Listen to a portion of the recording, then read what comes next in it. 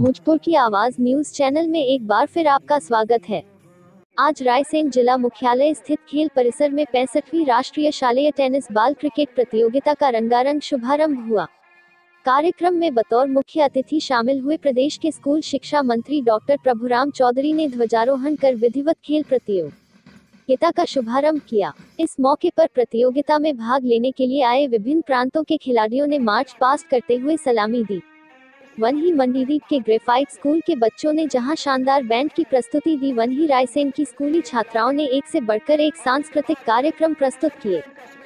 यह क्रम में कलेक्टर रायसेन उमाशंकर भार्गव, जिला शिक्षा अधिकारी आलोक खरे सहित खेल एवं शिक्षा विभाग के अधिकारी शामिल हुए। पाँच दिवसीय इस खेल प्रतियोगिता में 11 प्रदेशों की टीम भाग ले रही है।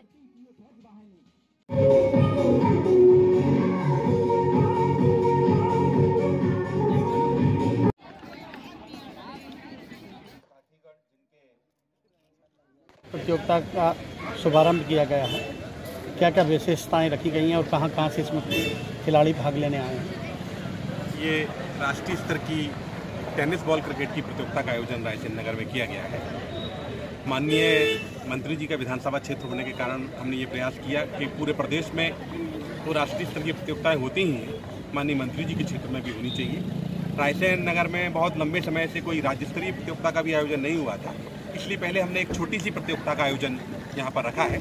इसमें पूरे राष्ट्र से 11 है स्थानों से हमारे पास टीमें आई हुई हैं। जम्मू कश्मीर भी है, तमिलनाडु भी है, उड़ीसा भी है, गुजरात भी है, दादर नगर हवेली भी है।